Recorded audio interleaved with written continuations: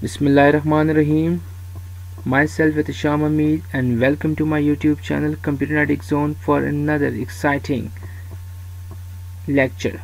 In today's lecture, I will be discussing about RAM and ROM and their major differences. RAM stands for Random Access Memory whereas the ROM stands for Read-Only Memory. In both cases, you can see the word memory there. So before getting further into detail let's discuss and have overview of memory in computing system. So in a computer system or in the computer science or in the world of information and technology what actually is a memory? Memory is a temporary area for holding data, instruction and information. It is also called a primary storage. So what computer does? Computers usually loads the data and instruction from the storage into memory and then execute that data. And the size of the memory is measured by the number of bytes available for use so this is a short uh, overview of a memory. So RAM stands for RAM random access memory and the ROM stands for read-only memory. RAM is a volatile memory. Memory would either be volatile or non-volatile. So RAM is a volatile memory. That means information will last as long as computer remains on. If you are working on any file and you shut down your computer or your computer is powered off then that information will be raised. So this is basically the RAM data or RAM information. So RAM information will only last as long as computer remains on.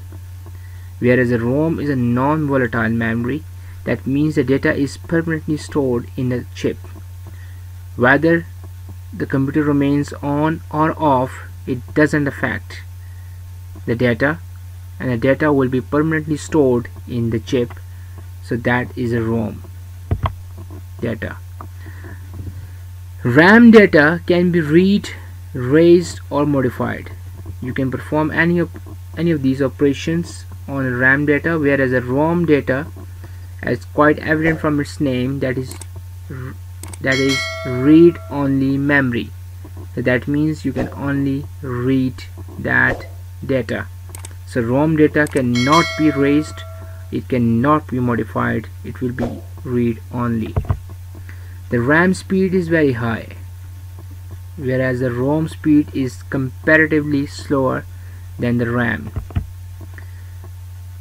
So RAM is used as a CPU cache and the primary memory whereas the ROM is used as a firmware by microprocessors.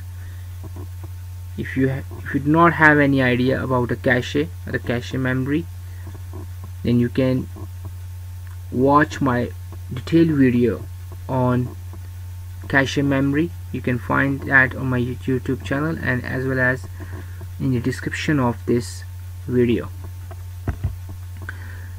So RAM is costly whereas the ROM is cheap as compared to RAM. And we have few types of RAM that is dynamic RAM or static RAM. Whereas the ROM types are PROM, EPROM and EEPROM so that's all for today. There's a very precise and very comprehensive differences of the RAM and ROM. If you like this video share it. If you have any question you can ask in the comment section. I will definitely respond there. And if you haven't subscribed to my channel you can subscribe it and click on the bell icon so that you can get more videos in future. Thank you